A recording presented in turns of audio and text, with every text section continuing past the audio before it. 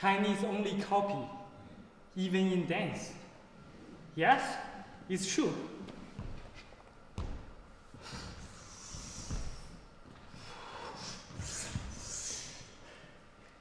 Everything is a copy of a copy from a copy of another copy, period.